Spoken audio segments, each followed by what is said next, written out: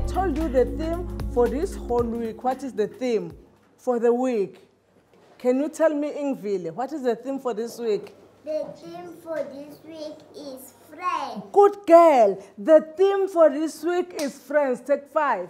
Okay, so we are going to write a paragraph about the theme my best friend. Now we are going to write the sentence. Let us count the words first. I love my Writers count the number of words in the sentence and draw a line for each word. Lungile. Then I put a full stop at the end of a sentence. So now let us write the sentence.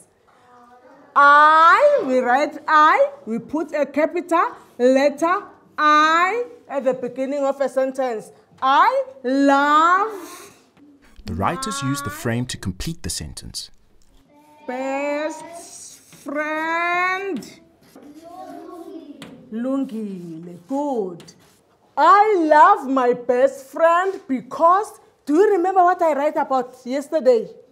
Yes, I said my friend Lungile is funny, she is clever, she has long hair. Let us count the number of words that we are going to write. I love my Writers count the number of words in the sentence and draw a line for each word. Then I put a full stop to show that the sentence ends here. Let us write the sentence. I, I begin with a capital letter. I, remember, this is a new sentence.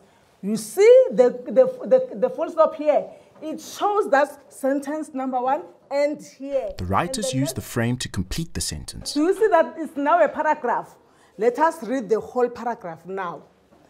I love my best friend. Writers read what they have written. You are, you are now making the sentences that will make a paragraph about your friend.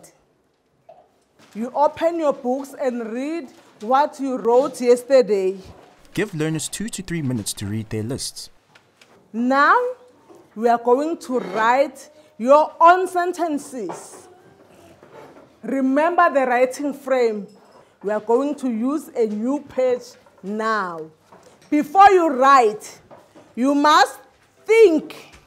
You count the number of words, you draw the lines, then you write your sentence.